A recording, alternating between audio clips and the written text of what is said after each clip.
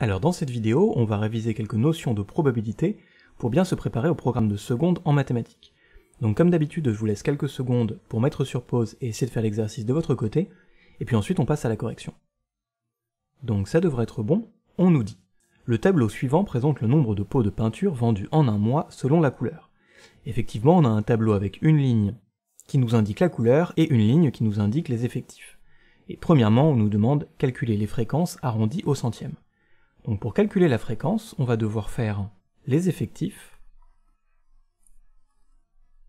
divisé par le total des effectifs.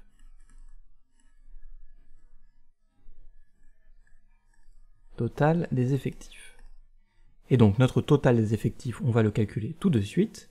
Ça va nous donner 256 plus 7489 plus 458 plus 156 plus 785 et enfin plus 4123.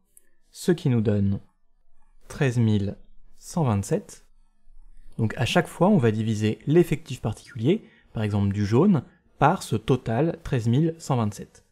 Ce qui nous donne concrètement, premièrement 256 divisé par 13127, ça nous donne 0,02 lorsque l'on arrondit au centième.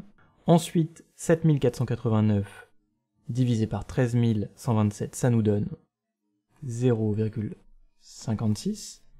Ensuite, pour le rouge, 0,03. Pour le bleu, 0,01. Pour le vert, 0,06. Et pour le noir, 0,31.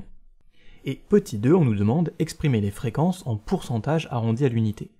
Donc pour exprimer un pourcentage, c'est tout simple, on va simplement multiplier nos fréquences par 100, ce qui nous donne pour le jaune, 0,02 multiplié par 100, ça nous donne 2%. Pour le blanc, 56%. Pour le rouge, 3%. Pour le bleu, 1%.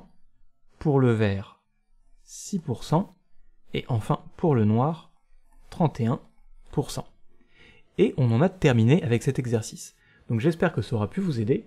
Si c'est le cas, n'hésitez pas à laisser un j'aime et à vous abonner et puis on se voit dans une prochaine vidéo.